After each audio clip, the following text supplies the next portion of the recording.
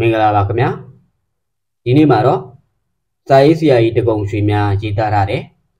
အိမ်မက်ဆိုတဲ့ဝတ္ထုတိုလေးကိုဖတ်ပြတင်ဆက်ပေးသွားမှာပဲဖြစ်ပါတယ်ခင်ဗျာစာအုပ်လေးမစခင်မှာကျွန်တော်ရဲ့ channel ကို like and subscribe လုပ်ပြီးအားပေးခဲ့ကြဖို့တောင်းဆိုပါရစေခင်ဗျာအိမ်မက်1ယခုရေးသားအံသောဝတ္ထုမှာဥတင့်ကျော်နှင့်အတူကျွန်တော်မနေမီဖြစ်ပျက်ခဲ့သည့်အဖြစ်ပျက်လေးတစ်ခုဖြစ်လေသည်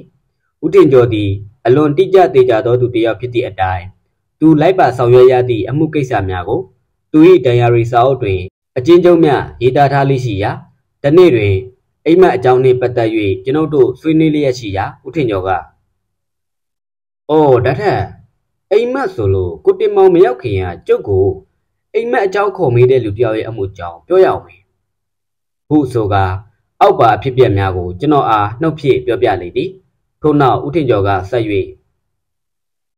ဓာတ်တဗျာခမားကိုစကားဆက်မိလို့တခုပြောရအောင်မေကျုပ်ကိုစုံတော့ဆိုပြီးခမားဝိထုတွေရေးနေတယ်မဟုတ်လားဗျဟုတ်တယ်လေအမှန်တော့စုံတော့လို့မခေါ်သင့်ပါဘူးဗျာရာဇဝတ်မှုတွေမပေါ်ပေါက်အောင်အစိုးရလက်ကရိတ်ခါပြီးပြီးခံထားတဲ့လူသာစုံတော့လို့ခေါ်သင့်ပါတယ်အမှန်တော့ကျုပ်ကဝါသနာအလျောက်ရာဇဝတ်မှုတွေဟာဘာကြောင့်ဖြစ်ရတယ် ဒီဟာတွေကိုဘယ်လိုလူတွေကကျွလွန်တတ်တယ်။ဘာကြောင့်ကျွလွန်ရတယ်ဆိုတာကျုပ်ကသူတည်တနာပြုနေတာပဲဗျ။ကျွန်တော်သိသားပဲဗျာ။ခမည်းလုံနေတာတွေနှုတ်ပေမဲ့အနောက်နိုင်ငံတွေမှာတော့ရာသွင်းမှုတွေကိုလိုက်ပြီးထောက်လန်းနေတဲ့အစိုးရလကသာမဟုတ်တဲ့လူတွေရှိသားပဲဗျ။သူတို့ကိုလည်း private detective လို့ခေါ်ကြတာပဲဗျာ။တခါလဲဒီအကြောင်းတွေခမည်းပြောဘူးသားပဲ။ဟုတ်တော့ဟုတ်ပါတယ်ဗျာ။ ကဲဒီတော့ဒီနေရာမျိုးမှာကျုပ်တို့ဗမာပြည်မှာလဲအစိုးရရာဇဝတ်ဌာနကိုကူညီတဲ့လူတွေရှိတဲ့အကြောင်းသူတို့နဲ့ပခုံးချင်းပြိုင်နိုင်တဲ့အကြောင်းပြရရောက်တာပေါ့ဗျာအဲ့လေထားပါတော့ဒီအကြောင်းနောက်မှဆွေးနွေးကြတာပေါ့ဘာပဲဖြစ်ဖြစ်ဗျာကျုပ်ရွယ်ချက်ကတော့တကယ်ပြစ်မှုကျူးလွန်တဲ့လူတွေအပြစ်မရခြင်းနေပါသေးအပြစ်ကင်းတဲ့လူတယောက်ပြစ်မှုကလို့ရင်ကျုပ်ကြည်နေပါပြီဓာတ်ထက်ကောင်းတဲ့ရွယ်ချက်ဘာရှိသေးလဲဗျာ အင်းခမည်းပြောတာနဲ့ကျုပ်အတော်သွေးကြီးသွားပြီကဲလာပြောကိုတင်မောင်ကျုပ်တို့အနောက်ပိုင်းမရောက်တာအတော်ကြာသွားပြီတရုတ်ဟိုတယ်တခုခုသွားကြစို့လားဗျာဦးထင်ကျော်သည်ရှေ့ခေတ်ကဆောက်လုပ်ထားသည့်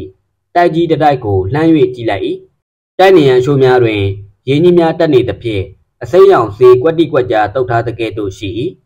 တိုက်၏လက်ရဘက်နှစ်ဘေး၌စက်ယုံတစ်ခု၏ကိုယ်တော်မှမြင်မာသောနေရန်သည်တိုက်ခေါင်မုံနှင့်တပြေးညီညာလောက်ပင်ရှိနေသည် ထိုတိုက်မှာမိမိထံသို့စာရေးသောစက်တထေးမြေပိုင်ရှင်ဥရွှေဘော်တိုက်ပင်ဖြစ်လေသည်တိုက်၏နောက်ဖေးတွင်ချန်စီယိုနှင့်ကက်လျက်ဘောလုံးဝင်းတစ်ခုကိုမြင်ရ၏ဦးထင်ကျော်သည်တထေးဥရွှေဘော်၏နာမည်ကိုကြားဘူးရောမြသာကြားဘူး၍လူကိုကားကိုယ်တိုင်မတွေ့ဘူးချေဥရွှေဘော်မှာထိုခေတ်ကမျက်နှာကြီးတထေးတယောက်ဖြစ်သည့်အတိုင်းမြည်သည့်အသင်းတွင်ဥက္ကဋ္ဌမြည်သည့်အဖွဲ့တွင်ဗန္နာတိစသည်ဖြင့်ပါဝင်ဆောင်ရွက်နေသည့်အကြောင်းများကို သတင်းစာများတွင်မကြာခဏဖတ်ခဲ့ပူ၏အသက်50ကျော်၍60တို့ပင်ကက်လျက်ရှိပြီဖြစ်သောကြောင့်စပေဖွေးဖွေးဖြူလျက်ရှိနေပြီလျင်နာရန်ကောက်ကောက်မျက်ပေါက်ကျင်းကျင်းနှင့်ခပ်ပိတ်ပိန်လူတစ်ယောက်ဖြစ်၏မျက်စိမှလည်းအလွန်မွဲသက်ဖြင့်မျက်မှန်အဝိုင်းအထူကြီးကိုအမြဲတက်ဆင်ထားရ၏ဥထင်ကျော်သည်အထက်ပါရုပ်လက္ခဏာရှိသောတထေးဥရွှေပေါ်အားသတင်းစာများတွင်တခါတရံအမတ်မထင်တွေ့မြင်မှုကြောင့်တတိယမိလေသည် မိမိအားမိသည့်ကိစ္စအတွက်စာရေးခေါ်သည်ကိုမခံမနိုင်အောင်ပင်ရှိတော့၏ဦးထင်ကျော်သည်တိုက်သို့ဝင်ကန်ဤသူရရှိသောစာရွက်ခောက်ကလေးကိုပင်အင်ကြီးအိတ်တွင်သို့လက်နှိုက်၍စမ်းသပ်ကြည့်ရှုမိသည်သည်တိုက်ရှိရှောင်ဝင်အတွင်သို့ဝင်မိသောအခါလမ်းတက်မီများမှာများစွာမလင်းလာသဖြင့်စင်ဝင်အောက်တွင်အတန်ငယ်မြမှောင်လျက်ရှိ၏တကားမှာတမဏိဆွဲတကားအတွင်းမှဖြစ်၍တောကပ်ပိတ်ထားရာဦးထင်ကျော်သည်တကားပေါက်နှစ်ပေရှိခလုတ်လေးကိုနှိပ်လိုက်၏ အချိန်မှာစာထဲတွင်ချိတ်ဆို့ထားသည့်အတိုင်းည8နာရီမိနစ်30တိတိရှိလေပြီဦးတင်ကျော်ကအစစအရာရာတွင် အလွန်အချိန်မှန်သူတစ်ယောက်ဖြစ်၏တကားပွင့်သွားပြီးနောက်အစီကန်နှင့်တူသောလူတစ်ယောက်ကိုနောက်ခံဓမိယောက်များလင်းနေသည့်ခမ်းမကြီးတွင်တွေ့မြင်ရ၏ထိုသူသည်ဦးတင်ကျော်အားခိတ္တမြရှေဆုံးကောင်းဆုံးကြည့်လိုက်ပြီးနောက်ကျွန်တော်တို့ဆရာနဲ့ချိန်ထားပါသလားခင်ဗျာဟုတ်ပါတယ်နာမည်အမိတ်ရှိပါခင်ဗျာ မောင်တင်ကျော်တဲ့ထိုသူသည်ဥထင်ကျော်အားတကားဖွင့်ပေးပြီးနောက်ရိုသေသည့်အမူအရာဖြင့်အတန်ငယ်ဥကောင်းညွှန်လိုက်ရာဥတင်ကျော်လည်းအိမ်ထဲသို့ဝင်ခဲ့လေသည်ထိုသူသည်တကားကိုအတွင်းမှပြန်ပိတ်လိုက်ပြီးနောက်ဦးတင်ကျော်လက်တွင်ကင်ထားသောဒုတ်ကောက်ကိုကျင်လေစွာလှမ်းယူလိုက်ပြီးလျင်အခန်းနှစ်ပေရှိအုတ်ထုပ်များတင်သောကြိတ်တွင်ချိတ်လိုက်၏တစိတ်ကျွန်တော်ကိုခွင့်လို့ပါဗျာစာတစောင်ပါလာလိမ့်မယ်လို့ကျွန်တော်ကိုပြောထားလို့ပါရော့ဟောဒီမှာ ဦးထင်ကျော်သည်ခောက်၍ထားသော စာကောက်ကလေးကိုအစီကံအားလှမ်း၍ပေးလိုက်၏အစီကံသည်စာကိုကြည့်ရှုသည့်ဆိုရုံမျှသာကြည့်ပြီးလျင်ဦးထင်ကျော်အားပြန်၍ပေးလေသည်ထိုစာမှာတတိဥရွှေဘော်ထံမှဦးထင်ကျော်ထံပေးသောစာဖြစ်၍အောက်ပါအတိုင်းရေးသားပါရှိလေသည်စုံတော့ကြီးဦးထင်ကျော်ခမညာမြေပိုင်ရှင်တထေးမင်းဥရွှေဘော် TBS ကလူကြီးမင်းနှင့်တွေ့ဆုံအကြံဉာဏ်တောင်းလိုပါသည် အကယ်၍လူကြီးမင်းအားလက်ပါကယခုကြာသာပရိနိည၈နာရီခွဲတွင်တထေးမင်းနေအိမ်သို့ကြွလာသည်လိုပါကြောင်းကြိုတင်ကျေးဇူးတင်လျက်မောင်မြင့်မောင်တထေးမင်း၏အတွင်ရင်မူမှတ်ချက်ယခုစာကိုကျေးဇူးပြု၍တပါးတည်းယူဆောင်လာစေလိုပါသည်ထိုသူသည်ဥထင်ကျော်အားအတွင်ရင်မူကိုမြင့်မောင်ခန့်ကိုကြွပါခမညာ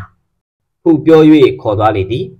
ထိုသူသည်ဥထင်ကျော်အား အပေါ်သို့တက်သောလေကားတစ်ခုမှခေါ်သွားလေရာဥထင်ကျော်လည်းထိုသူ၏နောက်မှလိုက်ပါသွားရလေ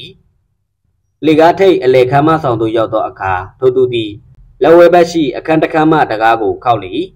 ခမ်းမဆောင်၏နေရံများတွင် ရှေ့မြန်မာပကြီးဆရာကြီးများ၏လက်ရများကိုချိတ်ထားသဖြင့်ဥထင်ကျော်မှာအနုပညာတဲ့တဦးဖြစ်သည့်အတိုင်းထိုကားများကိုတခဏမျှလှမ်း၍ကြည့်လိုက်မိတစုံတရာမရှိဘဲတီးခေါက်လေးမရှိသဖြင့်တာမန်အစီကံတယောက်သည် မိမိသခင်နေသောအခန်းကိုအလွန်ရေးကြီးသောအကြောင်းတစုံတရာမရှိဘဲတီးခေါက်လေးမရှိသဖြင့်ဥထစ်ကျော်သည်ထိုအချက်ကိုတတိပြုမိပြန်၏အခန်းဘေးမှမကွဲပြားသောအတန်တန်ကိုကြားလိုက်ရပြီလေထိုသူသည်အခန်းတကားကိုတွန်း၍ဖွင့်လိုက်၏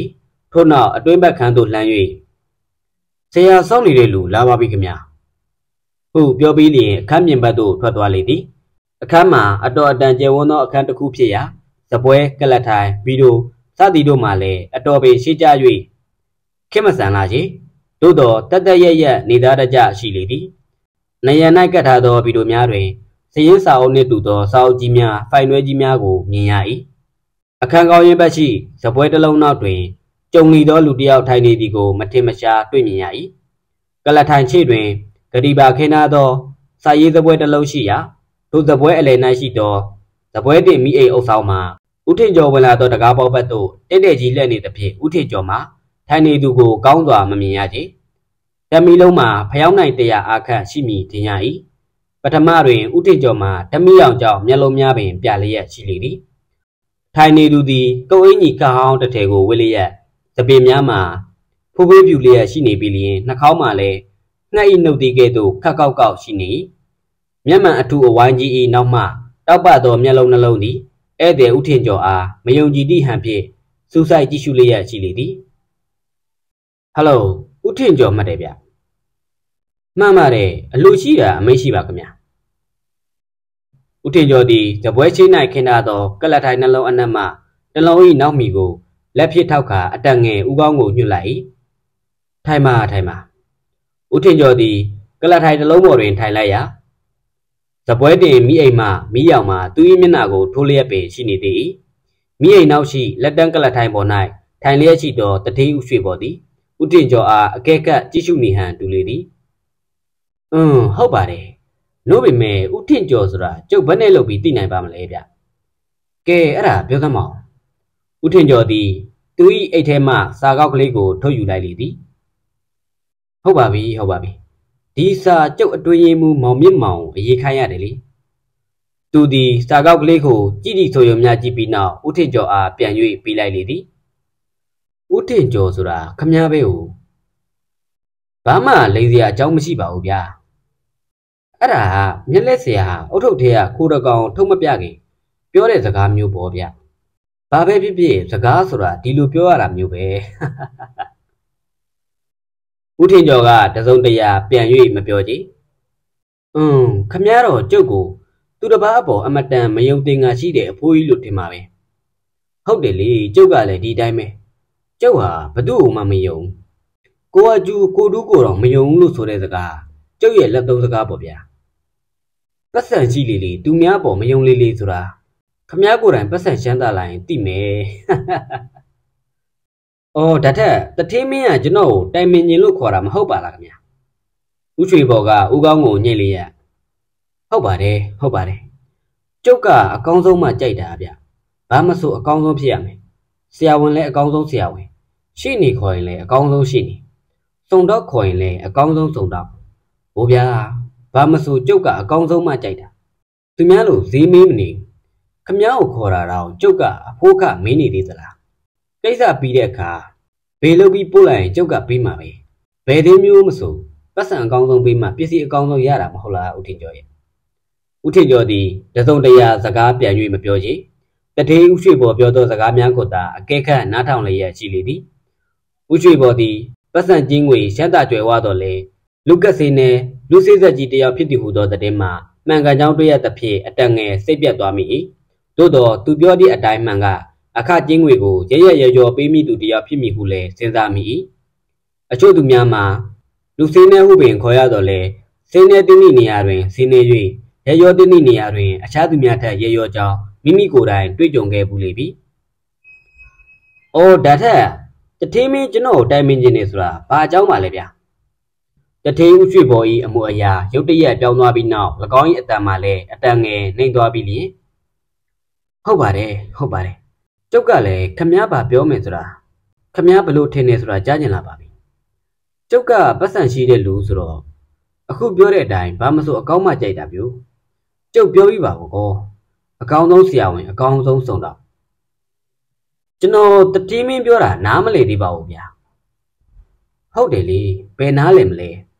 ကျုပ်ကဘာမှစပြီးမပြောရသေးပဲဟုတ်အင်းဒါထက်မေးရအောင်မေးအိမ်မက်များအကြောင်းနဲ့ပတ်သက်လို့ခမည်းဘာသိသလဲ ဦးထင်ကျော်၏မျက်ခုံးတစ်ဖက်မှာမတိမတာမြင့်တက်သွား၏ဤကဲ့သို့မိကုံမျိုးမှာမိသည့်အခါမျှသူမျောလင့်သောမိကုံမဟုတ်ချေဒါကတော့ဘေးရင်ဆရာတွေလက္ခဏာဆရာတွေရေးထားတဲ့စာအုပ်တွေပြီးတော့အိမ်မက်တိတ်ထုကျမ်းတွေကြည့်ပေါ့ဗျာဒါအတာကောင်းပါတယ်ကျုပ်ဒီဟာတွေကြည့်ပြီးပါပြီတထေးဥကျွေပေါ်သည်အတန်ကိုနှစ်ကိုကြားလောက်ထိနှိမ့်ပြီးတဖြည်းဖြည်းပြန်၍မြင်လျက်အိမ်မက်ဗျာအိမ်မက် တခါတည်းဒီအိမ်မက်ကညစဉ်ဆက်မှတ်နေတယ်ဗျာဟိုဟာမက်လိုက်ဒီဟာမက်လိုက်ဆိုရင်ကိစ္စမရှိပါဘူးအခုတော့နေ့စဉ်ရက်ဆက်ဒီအိမ်မက်ကြီးဆက်ဆက်မှတ်နေတာပဲအိမ်မက်ဟာဘာအိမ်မက်လဲသိလားအိမ်မက်ထဲမှာဟိုဘက်ကကျုပ်နေတဲ့အခန်းထဲကစာရေးစပွဲမှာကျုပ်ကထိုင်လို့နေရမှာကတ်ထားတဲ့နာရီကိုလှမ်းကြည့်လိုက်တော့3နာရီ20မိနစ်ရှိပြီအိမ်မက်မက်လို့အိမ်မက်ထဲမှာနာရီကိုကြည့်လိုက်တိုင်းဒီအချိန်ကြီးပဲပြီးတော့ဗျာအဲ့ဒီအချိန်မှာကျုံမလို့ရှင်တဲ့အလုပ်တစ်ခုကိုလုပ်ရလို့ စိတ်ထဲမှာမနေနိုင်မထိုင်နိုင်ဖြစ်လာတယ်။ကျုပ်စိတ်ထဲကတော့မလုပ်ရှင်ဘူးပေါ့။လုပ်ရမှာကိုကြောက်လဲသိကြောက်တယ်။နှုတ်ပေမဲ့လုပ်တော့တာပဲပြော။ဥရွှေဘော်သည်သူ၏နောက်ဆုံးပြောသောစကားများကိုတစ်တစ်ခွခွပြောချလိုက်၏။နေပါဦးဗျ။တထင်းမင်းလုပ်ရတယ်ဆိုတာဘာလို့လုပ်ရတာလဲဗျ။ဥရွှေဘော်ကအကွဲသောအတန်ဖြင့်အဲ့ဒီ3နာရီ20မိနစ်အချိန်မှာကျုပ်ဟာစာရေးသပွဲရဲ့လက်ရဘက် ဒုတိယအန်ဆွဲတွေကကျုပ်ထည့်ထားတဲ့ရှောက်လုံးပြူတနက်ကိုထုတ်ယူပြီးပတင်းပေါက်နာစီကိုရှောက်သွားတယ်ဗျပြီးတော့ပြီးတော့ဥရှိဘော်ဒီအင်းနီယာတွင်သူ၏အတန်ကိုနှစ်ကိုကြားနှိပ်ချလိုက်ပြီးနောက်ကျုပ်ကိုကျုပ်ပြစ်တက်လိုက်တယ်ဗျအဲ့ဒါတထင်းမင်းအိမ်မက်ပဲလားဗျဟုတ်တယ်ဒီလိုကြီးပဲညာတိုင်းမှတ်သလားခင်ဗျာဟုတ်တယ်ညာတိုင်းစက်မှတ်တယ် အဲ့ဒီလိုကိုကိုကိုပြစ်လိုက်ပြီးတဲ့နောက်ဘလို့ဖြစ်တယ်လဲဗျလက်နိုးတာပဲဗျာဒီတော့မေးပြစင်ဦးဗျာဒီအန်ဆွဲထဲမှာတော့တထင်းမင်းရဲ့ရှောက်လုံးမျိုးတနက်ကိုတင်ထားသလားဟုတ်တယ်ဘာပြုလို့လဲဗျဒါကတော့ထားနေကြမှုထားတာပဲဦးတင်ကျော်အရေးအကြောင်းရှိရင်လွယ်လွယ်ကူကူလက်လန်းမီအောင်လို့ထည့်ထားတာပါပဲဗျာကျုပ်လိုလူတယောက်အနေနဲ့အကာအကွယ်ဆိုတာရှိမယ်မဟုတ်လားဗျ ပစ္စည်းဥစ္စာချမ်းသာတဲ့လူများမှာရန်သူရှိတာပဲဦးထင်ကျော်ဦးထင်ကျော်သည်ဤပြဿနာကိုဤတွင်ရက်ဆိုင်၍ခိတ္တမြငြိမ်သက်လျက်ရှိပြီးနောက်ဒီတော့ကျွန်တော်ကဘလို့လုပ်ပေးစေချင်လို့ခေါ်တာပါလေဗျာပြောပါမယ်ပထမဒီဟာကိုဆရာဝန်နေနဲ့တိုင်ပင်ကြည့်တယ်ဗျအတိအကျပြောရမယ်ဆိုရင်ဆရာဝန်3ယောက်ဆိုပါတော့ဟုတ်ကဲ့အမိန့်ရှိပါအောင်ဗျာထမဆရာဝန်ကတော့ ဒါအစာမကြေတဲ့ယောဂကိုအကြောင်းပြုပြီးဖြစ်တာလို့ပြောတယ်အဲ့ဒီဆရာဝန်ကအသက်တော်ကြီးပြီ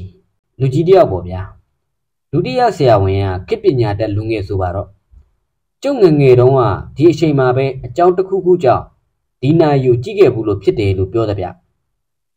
ရေစရာကောင်းလိုက်ပြီဗျာဟုတ်တယ်မလား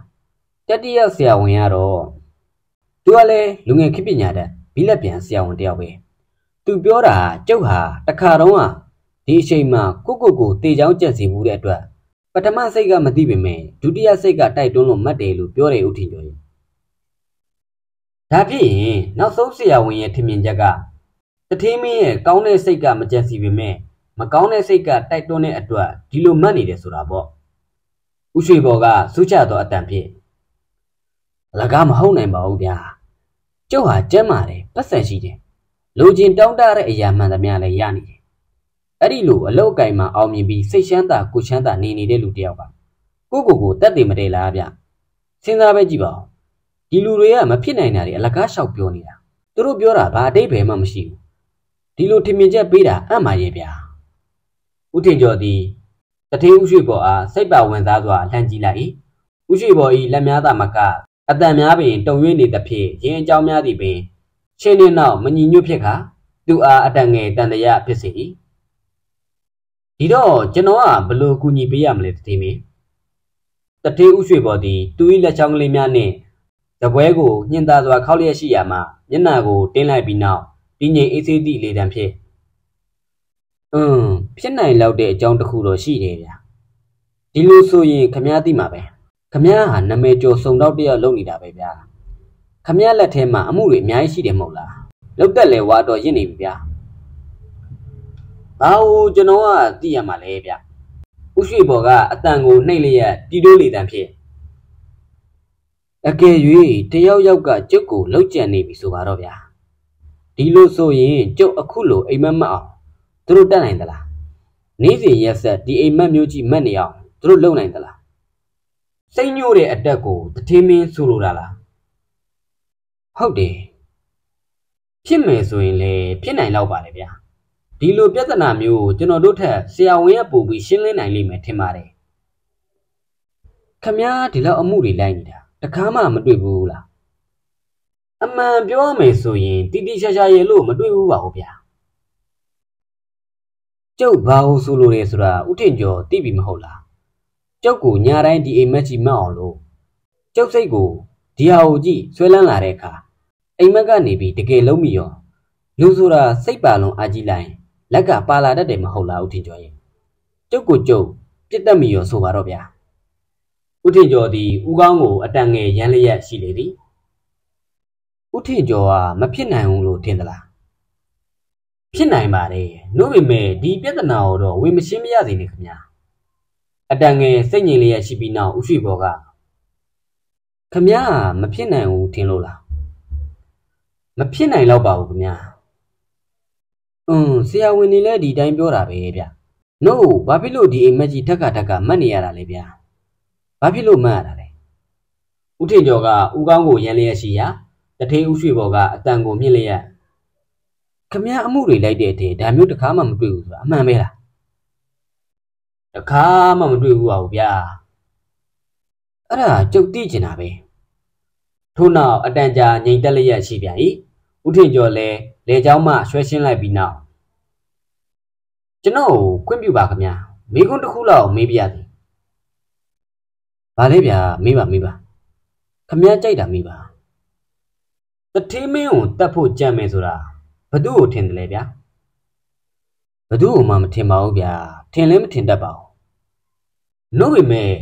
ဒီအစွဲကတထေးမင်းစိတ်ထဲမှာအမြဲရောက်နေတယ်မဟုတ်လားဗျာကျုပ်ကဒါဟာဖြစ်နိုင်လောက်တယ်ဆိုတာသိကျင်တာပဲဦးထင်ကျော်ကျွန်တော်ရဲ့လောက်သက် ကျွန်တော်ရဲ့ညံသွမ်းရှိသလောက်ပြောရမယ်ဆိုရင်တော့မဖြစ်နိုင်ဘူးလို့ပြောရမှာပဲဒါတဲ့စကားမဆက်တထေးမင်းကိုယ်တိုင်စိတ်ညှို့တာတွေပါတယ်ခံမှုသလားဗျမခံဘူးပါဘူးဗျာကျွန်တော်ဒီလိုကလေးကလအလုပ်တွေလဲဝါသနာမပါပါဘူးဒီလိုဆိုရင်တထေးမင်းရဲ့ထင်မြင်ယူဆချက်ဟာမဖြစ်နိုင်ဘူးလို့အသေးချာဆိုရမှာပဲဗျလို့ပေမဲ့အိမ်မက်ကရှိသေးတယ်ဦးတင်ကျော်ရဲ့အိမ်မက်အိမ်မက်အိမ်မက် ဟုတ်ပါတယ်ဗျာအိမ်မက်ကတော့ထူးဆန်းတာအမှန်ပဲဒါထက်တထင်းမင်းအခုပြောနေတဲ့နေရာကိုကျွန်တော်မကြည့်ရဘူးလားဗျာကျွန်တော်ပြောချင်တာကစာရေးစပွဲရဲ့အန်ဆွဲရဲ့ရှောက်လုံးပြူးတနက်ရဲ့နိုင်ကြီးရဲ့ဒါပါပဲဗျာဒါဖြစ်ဟိုဘက်ခန်းကိုတွက်ကြည့်ရုံပေါ့တထေးဥရှိပေါ်သည်ကလထိုင်ကိုခက်မိမိထိုင်လျက်ရှိရာမှခါးကိုခက်မတ်မတ်ပြင်လိုက်ပြီးလျင်သူ၏ကိုအင်းကြီးကိုလက်နှစ်ဖက်ဖြင့်ဘူတီပတ်တီပွေကနေရမ နေရမထမိကဲ့သို့ပြုလိုက်၏သို့တော်တစုံတရာကိုအမတ်ရသည့်ဟန်ဖြင့်ရုတ်တရက်စိတ်ပြောင်းသွားတဲ့ကဲ့သို့ဟာဘာကြည့်စရာလိုသေးလဲဗျာပြောစရာရှိတာကျုပ်အခုအကုန်ပြောပြီးမှပဲဒါပေမဲ့ကျွန်တော်ကိုယ်တိုင်မျက်စိနဲ့ထပ်ကြည့်ရင်သေးတာဟုတ်ဗျမလိုပါဘူးဗျာอืมဒီတော့ခမည်းရဲ့ထင်မြင်ချက်ကိုလည်းအခုပေးပြီးပြီကိစ္စကဒါပါပဲဦးထင်ကျော်သည်ကိုကိုအတန်ငယ်တွန်းလိုက်ပြီးနောက်နေရာမှထက ဒါတော့တထေးမင်းသဘောပါပဲဗျာအခုလိုလာပြီးမှကျွန်တော်ဘာအကူညီမှမပေးနိုင်တာဝမ်းနေပါတယ်ဗျာတထေးဦးရွှေပေါ်သည်ဦးထင်ကျော်၏မျက်နှာကိုစိုက်၍ကြည့်လိုက်ပြီးနောက်ဒါတွေပြောနေဖို့မလိုပါဘူးဗျာကျုပ်ကလည်းခမည်းကိုဖြစ်ပျက်သမျှအကျိုးအကြောင်းအကုန်ဖွင့်ပြောပြီးမှပဲခမည်းလည်းဘာမှမတက်နိုင်ဘူးဒီတော့ခုကိစ္စဟာဒီမှာပဲအဆုံးသတ်ပြီဆိုကြပါစို့ကဲလေဦးထင်ကျော်အခုခေါ်ပြီးတိုင်မင်းနဲ့အတွက်အဖိုးခဘယ်လောက်ကြတယ်ဆိုတာ ဘေးလုတ်ပြီးကျုပ်စီပို့လိုက်ပြီးတော့ဒီအတွက်တော့စိတ်ချပါပို့လိုက်ပြီးသားပါပဲဦးထင်ကျော်သည်တကားရှိရာသို့ရှောက်သွားလေရာဦးရှိဘော်ကနေပါဦးဦးထင်ကျော်ကျုပ်စာလေးတစ်စိမ့်လောက်ပြန်ပေးပါအောင်ဗျာဘယ်စာလဲဗျဩဦးမင်းစက်ကထရီစီကပို့လိုက်တဲ့စာလားဟုတ်တယ်ဦးထင်ကျော်၏မျက်ခုံးတစ်ဖက်သည်အပေါ်သို့မြင့်တက်သွား၏လက်တစ်ဖက်ကိုအင်ကြီးအိတ်ထဲသို့နှိုက်လိုက်ပြီးလျင် စက်ကူကောက်လေးတစ်ခုကိုထုတ်ယူ၍အဖိုးကြီးအားပေးလိုက်၏ဦးရွှေဘော်သည်စက်ကူကောက်လေးကိုအပေါ်ရန်ကြည့်ကြည့်ဆိုရုံများကြည့်ပြီးလျင်ဦးကောင်းကိုအတန်ငယ်ညှိပြီးနောက်စားကောက်ကလေးကိုစပွဲပေါ်၌တင်ထားလိုက်သည်ဦးတင်ကျော်သည်တကားရှိရာသို့လျှောက်သွားပြန်ရာစိတ်ထဲတွင်တစုံတရာကိုစဉ်းစားလျက်ရှိ၏ပထမဝေဝဲရေးမရတော့လဲချက်ရှင်းပင်သူ၏အုံနောက်ထဲသို့အလင်းရောင်တစ်ခုဝင်လာရာတကားကိုဖွင့်မိပြုပြီးမှတစုံတရာပြုလုပ်လိုသည်နှင့် ဥရွှေဘော်၏သပွဲရှိရာသို့ပြန်လာခဲ့ပြန်လေသည်ကျွန်တော်တတိမိသွားတယ်ခင်ဗျာကျွန်တော်မှားသွားတယ်တတိမင်းတောင်းပန်ပါတယ်ဗျာဒီလိုမှားရတာလေဦးမင်းရဲ့ပြဿနာကိုစိတ်ဝင်စားလုံးလို့ဖြစ်ရတာပဲဗျာဘာလဲဆိုတော့လက်ဝဲဘက်အိတ်ထဲနှိုက်ရမယ်အစားလက်ရဘက်အိတ်ထဲအမတ်တမဲ့နှိုက်ပြီးစာအုပ်မှားပေးမိတာပဲဗျာအလွန်အံ့ဩသည့်ဟန်ဖြင့်ဘာလဲဗျဘာလဲဘာဖြစ်တာလဲဦးတင်ကျော်ကျွန်တော်အခုပေးတဲ့စာ စက်ကထရီပေးတဲ့စာမဟုတ်ဘူးဗျကျွန်တော်မိတ်ဆွေတယောက်စီကိုပေးမယ်လို့ရေးထားတဲ့စာဖြစ်နေတောင်းပန်ပါတယ်ခင်ဗျာကျွန်တော်ဒီလိုမှားသွားတာအများကြီးတောင်းပန်ပါတယ်ဦးထေကျော်ဒီတောင်းပန်လို့ဒီမျက်နှာနဲ့အတန်ငယ်ပြုံးလိုက်ခါသူ၏အင်ကြီးလက်ဝဲဘက်အိတ်ထဲသို့တဖန်နှိုက်ပြီးလျင်စာကောက်လေးတစ်ခုကိုထုတ်ယူပြီးနောက်ဦးမင်းရဲ့စာဒီမှာဗျဦးရွှေဘော်ဒီသူ၏ကြုံလီလာသောလက်ဖြင့်စာကိုအတင်းဆွဲယူလိုက်ပြီးလျင်တေခတ်တယ်လို့ပဲ ခမရဒီလောက်မှသတိမထားပဲဟုတ်ဗျဦးထင်ကျော်သည်ပထမပေးသောစာကောက်ကလေးကိုဆွဲယူပြီးလျင်အိတ်ထဲသို့ထည့်ကာဦးရှိဘော်အားဦးကောင်းကိုညွတ်တီဆိုရုံများညွှတ်လိုက်ထို့နောက်တကားရှိရာသို့တက်တက်ကြီးလျှောက်သွားပြီးနောက်တကားကိုဖွင့်၍ထွက်သွားလေသည်အောက်ထပ်သို့ရောက်သောအခါဦးထင်ကျော်သည်ကျေဝန်းကြီးမားသောအဆောက်အဦကြီးကိုကြည့်ရှုလျက်ရှိ၏အောက်ခန်းမှာစာဖတ်ခန်းဖြစ်၍အလဲစပွဲကြီးပေါ်တွင်သတင်းစာနှင့်မဂ္ဂဇင်းများစုပုံလျက်ရှိရာ တကားဖွင့်ပေးသောအစီကံကိုလည်းတနေရာ၌ပင်တွေ့ရလေသည်ထို့အခါအစီကံကဦးထင်ကျော်အားအယူတည်ပေးလျက်ကျွန်တော်ကားခေါ်ပေးရမလားဆရာမိမသိကွာကိစ္စမရှိပါဘူးလာတာသားပဲငါချင်းချင်းပဲလျှောက်သွားပါမယ်ဦးထင်ကျော်သည်လမ်းကြားကလေးမှထွက်ခဲ့ရာတာဤလက်ရပတ်ဘေးတွင်ရှိသောကိုတော်ကြီး၏မြင်မာသောနေရန်ကိုပင်ပြန်၍ကြည့်မိသေးသည်ထို့နောက်လမ်းမကြီးပေါ်သို့ရောက်သောအခါအနောက်ဘက်သို့ကွေ့ပြီးလျင် လူသွားလမ်းပလက်ဖောင်းမှဂရီလန်းသို့ခပ်ပြေးပြေးလျှောက်ခဲ့လေသည်ဤသို့လမ်းလျှောက်ရင်းอืมဘာလို့ဆိုလိုတာလဲမသိဘာလဲဆိုတာစဉ်းစားလို့မရအလိမ့်ပဲလည်းမရှိဟုစိတ်ထဲကရေရွလျက်ရှိလေသည်ယင်းဒီကတထေးဥရွှေဘော်၏အမှုတွင် ပထမကဏ္ဍများသာဖြစ်၍ရှေ့တွင်ဆက်လက်၍ဖော်ပြမည့်အကြောင်းများမှာ၎င်း၏ဒုတိယကဏ္ဍဖြစ်လေသည်နောက်ရက်သက်တစ်ပတ်ခန့်ကြာသောအခါတနေ့သောညင့် နေဝင်ရည်တရောအချိန်တတလောက်တွင်ဒေါက်တာဦးဝေးကျော်ဆိုသူထံမှဦးထင်ကျော်သည်တယ်လီဖုန်းသတင်းတစ်ခုရရှိလေသည်ဟုတ်ကဲ့ဒေါက်တာအေးကျော်လေးဘယ်နဲ့လဲဆိုတော့ကြီးနေကောင်းရဲ့လားဦးထင်ကျော်ဟုတ်ကဲ့နေကောင်းပါတယ်ခမရလဲမတွေ့ရတာကြပြီကောကိုကြီးကျော်ခမရသိတဲ့အတိုင်းကျွန်တော်တို့အစိုးရလက်ကစားဆိုတာကတော့ပေးထားတဲ့အချိန်ကိုလည်းတိတိကျကျလုပ်ရတယ်ပြီးတော့မကိုလန်းဆေးတက်လေးတစ်တိုက်မှလည်းညနေခင်းတာဝန်ယူထားတော့ အားနိုင်နေပဲမရှိပါဘူးဗျာရုပ်ရှင်လေးပါလေးကြည့်ဖို့တော့အရှင်မရဘူးဗျ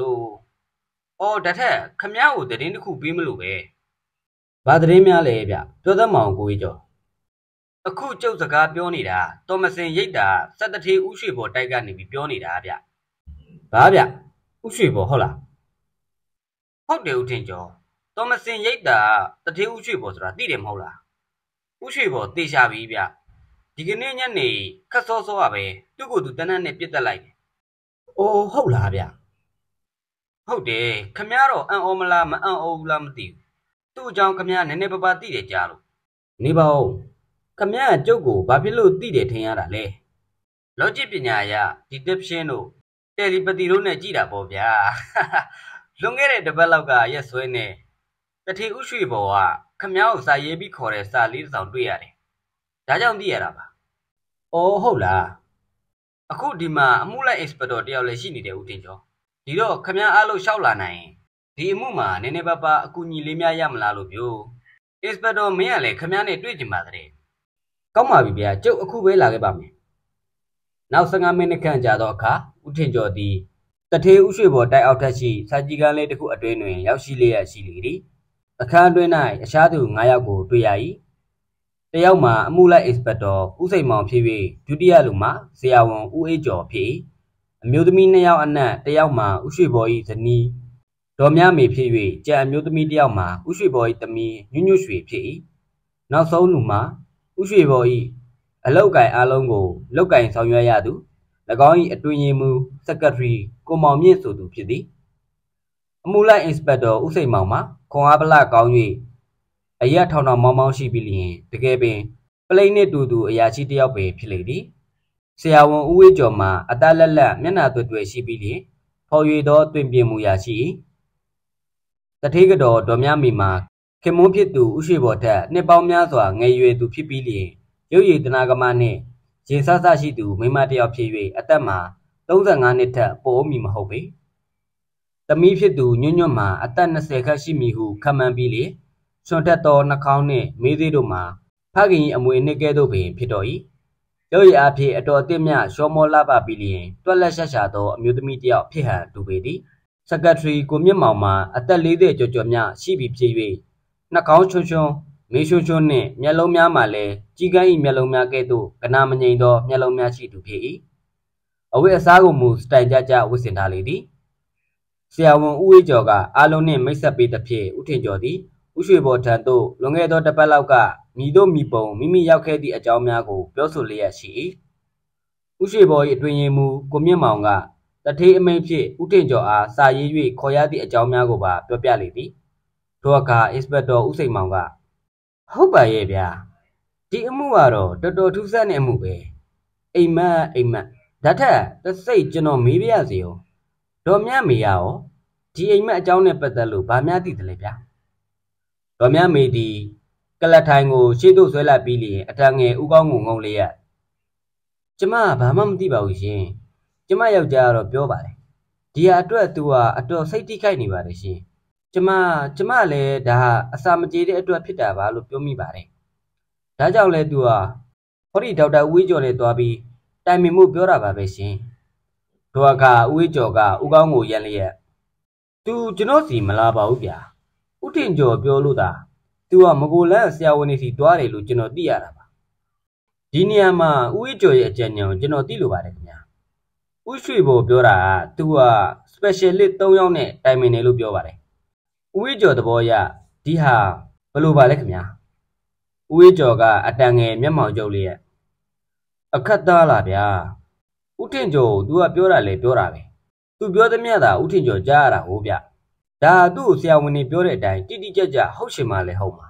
သူပြောတာရိုးရိုးအရက်သားတယောက်နားလေတဲ့အတိုင်းပြောတာဖြစ်မှာပဲသူပြောတာမမှန်ဘူးလို့ဒေါက်တာကဆိုကျင်တာလားဒီလိုမဆိုလိုပါဘူးဗျာဆရာဝန်ပြောတာသူ့ရဲ့စေအတတ်ပညာရပြောတယ်ဒီဟာကိုအရက်သားတယောက်အနေနဲ့နည်းနည်းတမျိုးတမီနားလည်ကြမှာနားလည်မယ်ဒီဟာကိုပဲ तू ကနောက်တစ်ယောက်ကိုပြန်ပြောတော့မူလဆရာဝန်ပြောတဲ့အတိုင်းအတိအကျဖြစ်ရှင်မှာဖြစ်မယ် ဒါကိုကျွန်တော်ဆိုလိုတာပါဒါဖြစ်ရင်ကျုပ်တို့ဟာဒါဖြစ်ရင်ကျုပ်ကိုပြောတာဟာသူ့ဆရာဝန်တွေပြောလိုက်တဲ့အတိုင်းအမှန်မဟုတ်ဘူးဆိုပါတော့ဒီလိုဖြစ်ရှင်ဖြစ်မှာပဲဗျကျွန်တော်ပြောတာဥထင်ကျော်သဘောပေါက်ပါလိမ့်မယ်ဥထင်ကျော်ကစဉ်းစားသည့်ဟန်ပြေကောင်းငုံငိမ့်လျက်ဓာတ်ထက်ဘဲကဆရာဝန်တွေစီတွားပြီးသူတိုက်မိနေဆိုတာသိကြသလားဗျ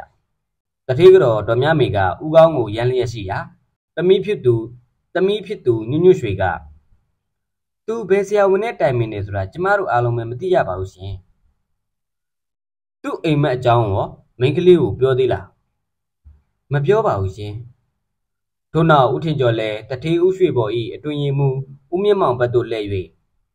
ခမ ्या ကိုရောဦးရွှေဘော်ကဘာများပြောသေးလဲကိုမြင့်မောင်မပြောပါဘူးဗျာဘာမှမပြောပါဘူးစာအုပ်သူကကြောင်းပြီးတဲ့အတိုင်းကျွန်တော်ကရေးလိုက်ရတာပါပဲ ဦးထင်ကျော်နဲ့ဘာကိုတိုင်မင်းကြီးနဲ့ဆိုတာကျွန်တော်မသိရပါဘူးအလောက်ကင်နဲ့ပတ်သက်လို့ထစ်ထင်ငုံငေါဖြစ်နေတဲ့ကိစ္စတွေတိုင်မင်းကြီးလို့များခေါ်သလားလို့ကျွန်တော်ထင်မိပါတယ်ကဲဒီတော့သူဘယ်နီးပဲပုံသေးတယ်ဆိုတာ inspector မင်းကအမိတ်ရှိပါအောင်ဗျာကျွန်တော်စစ်ဆေးလို့သိရသလောက်ကတော့ဒီလိုပါခင်ဗျာ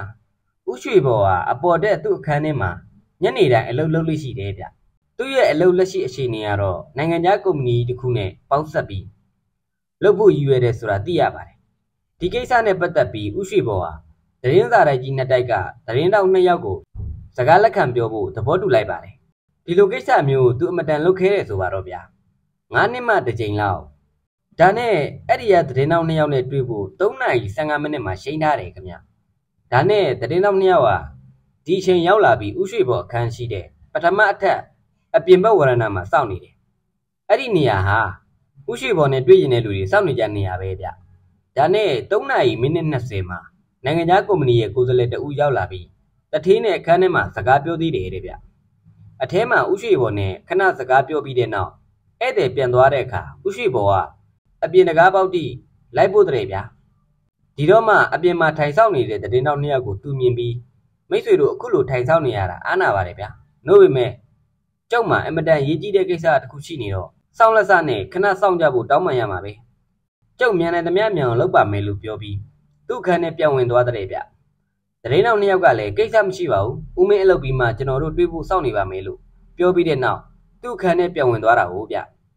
ဒီနောက်သူ့ကိုအသက်ရှင်လျင်မတွေ့ရတော့ဘူးလေဗျကဲလေစက်ပါအောင်ထို့နောက်အမှုလိုက်အင်စပက်တော်ဦးစိန်မောင်ကဆက်၍ဒီနောက်အတွင်းရင်မူကိုမြင့်မောင်ကသူ့အခန်းထဲကထွက်လာပြီးတတိဥရွှေဘော်အခန်းကိုကူးမယ်လို့တော့ တကားရှိဝရဏခုံနှန်းရှိပေါ်မှာသတင်းနောက်နှစ်ယောက်ထိုင်နေတာကိုမြင်တာဟုတ်ဗျသူလဲတတိခန်းထဲကိုလက်မှတ်ထိုးရအောင်တကြောင်အိတ်ရှိမှသတင်းနောက်နှစ်ယောက်စောင့်နေတာတတိပေးရအောင်လဲတကြောင်ဥရွှေဘော်အခန်းထဲကိုဝင်သွားတဲ့ဗျာဒါနဲ့အခန်းထဲရောက်တော့ဥရွှေဘော်အခန်းထဲမှာပထမမတွေ့ရတော့အံ့အားသင့်သွားတယ်ဒီနောက်သူလဲဟိုဒီဒီကြည့်တော့မှဗဒင်းမောက်နားမှာရှိတဲ့ကလထိုင်တစ်လုံးအောက်ကခြေနှချောင်းအပြင်ကိုထွက်နေတာမြင်ရတာဟုတ်ဗျတေးသေးချာချာကြည့်တဲ့အခါမှာတထေးဥရွှေဘော်ဟာ ကော်စောပေါ်မှာလဲကျပြီးတည်နေတာကိုတွေ့ရပါတဲ့ဗျအလောင်းနှပေးမှာရှောက်လုံးပြူးတဲ့တနက်ကိုတွေ့ရတယ်ဒါနဲ့ကိုမြင့်မောင်ဟာအခန်းထဲကထွက်လာပြီးမင်းစီလုတ်တဲ့ကိုသူတော်ကိုခေါ်ပြီးချက်ချင်းပဲဆရာဝန်ဦးဝေးကျော်တယ်လီဖုန်းအဆက်ခိုင်းတယ်ဒီနောက်ဆရာဝန်ဦးဝေးကျော်ရဲ့အကြံပေးချက်အတိုင်းပလိတ်ဘက်ကိုတယ်လီဖုန်းနဲ့အကြောင်းကြားတာဟိုဗျထိုအခါဦးထင်ကျော်ကတနက်တန်ရောမကြောက်ဘူးလေလားဗျမကြပါဘူးဗျာပြီးတော့လေဒီအချိန်လောက်မှာ လမ်းကလည်းမော်တော်ကားအသွားအလာအမတန်ရှုပ်တယ်အပြင်ဘက်ပတင်းပေါက်ကလည်းဖွင့်ထားတယ်ဆိုတော့မကြားနိုင်ပေဘူးပေါ့ဗျာတို့အခါဥထင်ကျော်လည်းဥကောင်းကိုအตาရညှိတ်လျက်ရှိလေသည်ဘယ်အချိန်လောက်မှသူတည်တယ်လို့ထင်ရတယ်လဲတို့အခါဆရာဝန်ဦးဝေးကျော်ကကျုပ်ရောက်တော့၄နာရီ32မိနစ်ရှိပြီဗျတည်တာကျုံမရောက်ခင်တနာရီလောက်ကနေတူလေလို့ကျုပ်ခမန်းရတာပဲဥထင်ကျော်ဥထင်ကျော်ဤမျက်နှာမှာ အလွန်အင်မတန်စဉ်းစားနေသည်ဟန်နှင့်အတော်ပင်ရင့်ကျက်လျက်ရှိလေသည်ထို့နောက်ဒါဖြစ်ရင်ဥရွှေဘော်တည်တဲ့အချိန်ဟာ3နာရီခွဲလောက်3နာရီမိနစ်20လောက်ဖြစ်မှာပေါ့ဟုတ်ပါတယ်ဦးထင်ကျော်ဒီချိန်မှာပဲဓာတ်ထက်တနက်ပေါ်မှာလက်ပွေရမတွေ့ရဘူးလားတွေ့ရပါတယ်တနက်ကရောဘသူတနက်လဲထိုအခါစုံတော့အမှုလိုက်အင်စပက်တော်ဦးစိန်မောင်ကတနက်ကတော့သူ့စာရေးစပွဲရဲ့လက်ရဘက် ဒုတိယတက်အန်ဆွဲထဲမှာထည့်ထားတဲ့တနက်ပဲဗျသူ့တနက်ဖြစ်တဲ့အကြောင်းလဲတတိကတော်ကအတိအကျသက်သေခံပါတယ်ပြီးတော့ဦးထင်ကျော်မြင်တဲ့အတိုင်းအခမ်းမှာဝင်တဲ့အပေါက်ကလည်းတကားပေါက်တစ်ပေါက်ပဲရှိတယ်တကားပေါက်နဲ့မျက်နှာရှင်းဆိုင်ထိုင်ကုန်ပေါ်မှာလဲတတိနောက်နှစ်ယောက်ကတထင်းနဲ့တွေ့ရအောင်စောင့်ပြီးနေတယ်ပြီးတော့ဒီချိန်ဒီခါမှာလဲဥရွှေဘော်အခန်းထဲကိုဘသူမှဝင်တာထွက်တာမတွေ့ရအောင်သူ့အတွင်းရေးမှုကိုမြင့်မောင်တယောက်ပဲ၄နိုင်ကြော်ကြော်လောက်မှဝင်သွားတာဟုတ်ဗျ ဒါဖြစ်ရင်တထေးဥရွှေဘော်ကသူ့ကိုယ်သူတနက်နဲ့ပြစ်တယ်ဆိုတာအတော်ခိုင်လုံနေတာပေါ့ခိုင်လုံပါတယ်ဗျာနှုတ်ပေမဲ့အချက်တစ်ချက်တော့ရှိတယ်ဘလို့အချက်လဲဗျအเจ้าကတော့ဥတင်ကျော်စီရေးလိုက်တဲ့စာပဲဗျထိုအခါဥထင်ကျော်ကအတန်ငယ်ပြုံးလိုက်ပြီလေအင်းကျုပ်စီရေးလိုက်တဲ့စာမှန်သမျှလူတက်မှုနဲ့ဆက်နွယ်နေတာကြီးပဲဟုတ်ဗျဟုတ်တာပေါ့ဗျာဥထင်ကျော်ဒီတထေးကတော့ဘတ်သူလဲပြီးနောက် ဓာတ်ထက်ညီမကိုမေးအောင်မယ်တထေးမင်းကစိတ်ညှို့ခံရတဲ့အလုပ်တွေပါတွေလုပ်ဘူးသလားဗျဘယ်တော့မှမလုပ်ဘူးပါဘူးရှင်စိတ်ညှို့တဲ့အတက်ကိုတော့တင်ဘူးလေးလာဘူးသလားဦးကောင်းကိုရန်လျက်ကျမမကြားဘူးပါဘူးရှင်တို့အချိန်၌တထေးကတော်သည်မိမိစိတ်ထဲတွင်ရှိသည်ကိုဆက်လက်၍မြို့သိမ့်မထားနိုင်တကယ်သို့အိမ်မက်အိမ်မက်တိတ်ထူးဆန်းတာပဲနော်အဲ့ဒီအိမ်မက်ကို तू ဟာညတင်လို့လို့မှတ်နေတဲ့ရှင်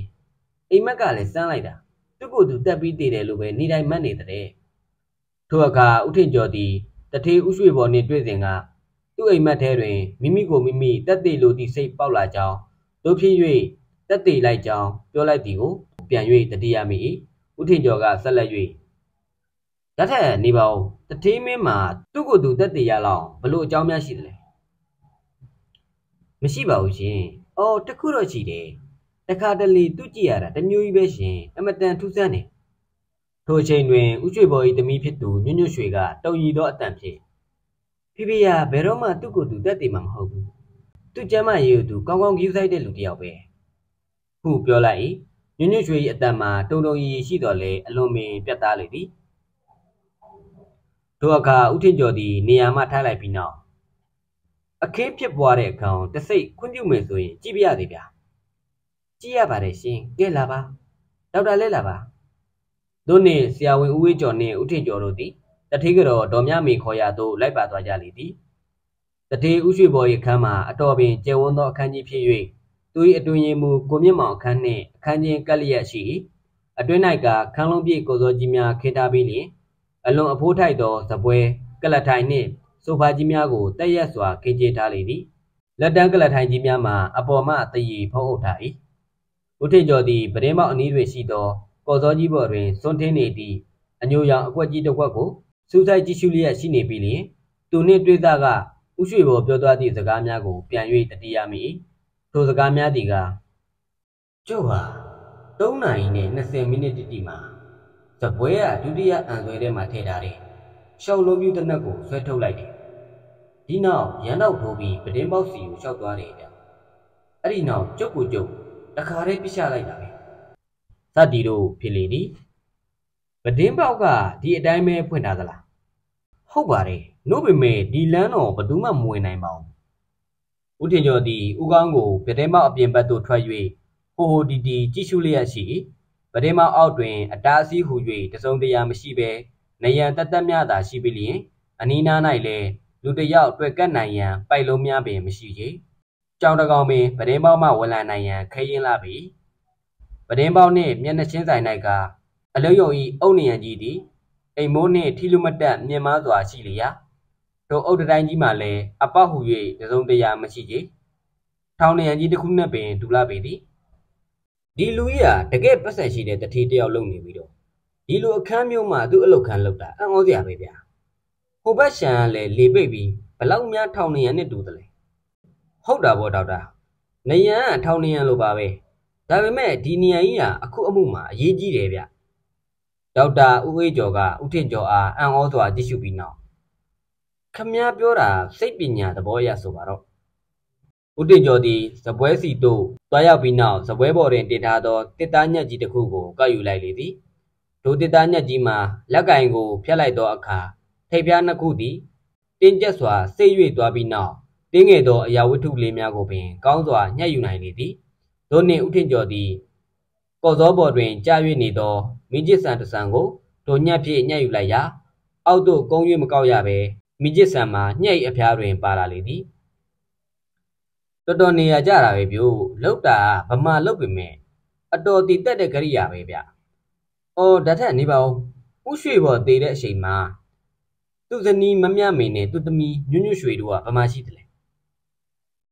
ဒေါ်မြမေကအပေါ်တက်သူ့အခန်းထဲမှာရှိပါတယ်။ညွညွရွှေလည်းသူ့အခန်းထဲမှာပဲစက်ပန်းထိုးနေတယ်။ဒါဖြစ်ရင်ညွညွရွှေဆိုတဲ့တငယ်မကိုခဏမတွေ့ရဘူးလားဗျာ။သူ့ကိုတယောက်တည်းကြုတ်တွေ့ကျင်ပါတယ်။တွေ့ကျင်ရင်တွေ့နိုင်ပါတယ်ဆရာဝန်ဦးဝေးကျော်သည်ဦးထင်ကျော်အားထူးဆန်းစွာကြည့်ရှုလိုက်ပြီးနောက်အခန်းထဲမှထွက်သွားလေရာနောက်တခဏမျှအကြာတွင်တကားပွင့်သွားပြီးနောက်ညွန့်ညွန့်ရွှေဝင်လာလေသည်ဦးထင်ကျော်သည်ချွတ်သာရွှင်ပြုံးသောမျက်နှာနှင့်မိန်းကလေးအားကြည့်လိုက်ပြီးနောက် ဓာတ်ထက်ညွန့်ညွန့်ရွှေကိုတခွန်းနှခွန်းလောက်ဦးမေးပြရသေးဘူးမေးပါရှင်မင်းနိုင်ပါတယ်ညွန့်ညွန့်ရွှေအဖေဟာသူ့စာရေးစပွဲအံဆွဲထဲမှာ၆လုံးပြူတနက်တလက်ဆောင်ထားတယ်ဆိုတော့သိသလားဟုတ်ပါတယ်ရှင်ဒေါ်မြမေကကျမအမေကြီးမဟုတ်ပါဘူးမိတွေးပါကျမထက်အသက်၈နှစ်ပဲသူကကြီးပါတယ်ကဲဦးမေးကျင်နာကလွန်ခဲ့တဲ့ကြာသာပတိနေ့ညညွညွရွှေရဲ့ညွညွရွှေရဲ့မိတွေးမမြမေရဲ့ဘယ်မှာရှိလဲ ညွညွရွှေဒီခိတ္တမြစဉ်းစားပြီးနောက်ကြာသာပတိနေ့ဟုတ်လားဟုတ်ကဲ့အဲ့ဒီနေ့ညတော့ကရုပ်ရှင်တွက်ကြည့်ကြပါလေရှင်ညွညွရွှေဖေးကြီးကတော့မလိုက်ဘူးလားသူကပွဲလန်းတပင်မကြိုက်ပါဘူးရှင်ရုပ်ရှင်နေပါတယ်ကြည်ခဲ့သားပဲ